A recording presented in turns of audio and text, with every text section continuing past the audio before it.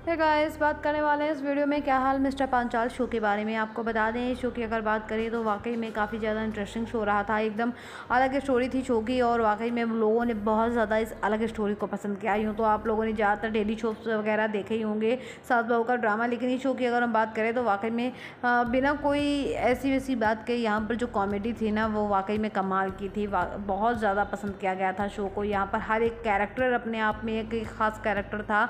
पाँच बहुएँ थी एक कृष्णा की जो पाँच पत्नियाँ थीं, वो किस तरीके से मिस्टर पांचाल बने, ये सब स्टोरी के अंदर आपको देखने को मिला। स्टार्टिंग में उसके अलावा बहुत ज़्यादा इंटरेस्टिंग स्टोरी आगे चलकर होती गई। एक एक अलग अलग तरीके से एपिसोड्स पर बेस्ड स्टोरी होती थी यहाँ पर।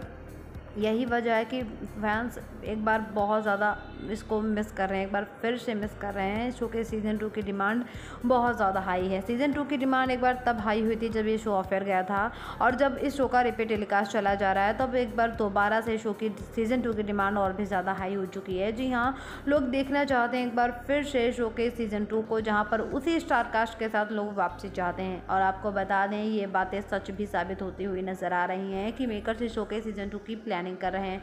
बिल्कुल सही सुन रहे हैं आप लोगों की शो की सीज़न टू की प्लानिंग चल रही है और जिसको अंजाम बहुत ही जल्द दिया जाएगा। मीन्स आपको शो का सीज़न टू बहुत ही जल्द देखने को मिलने वाला है, जहाँ पर एक बार फिर से वही स्टारकास्ट लौट कर आने वाली है।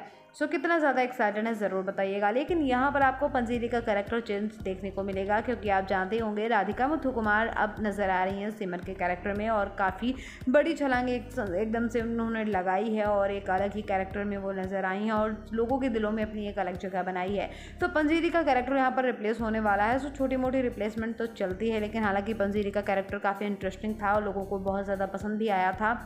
सो फाइनली यहाँ पर उनका कैरेक्टर रिप्लेस होगा। बाकी के कैरेक्टर वही रहने वाले हैं। एक बार फिर से आपको वही कैरेक्टर्स एंटरटेन करने के लिए आ रहे हैं। ठीक, वैसे ही स्टोरी देखने को मिलेगी, जिस तरीके से सीज़न फ़र्स्ट में देखने को मिली थी।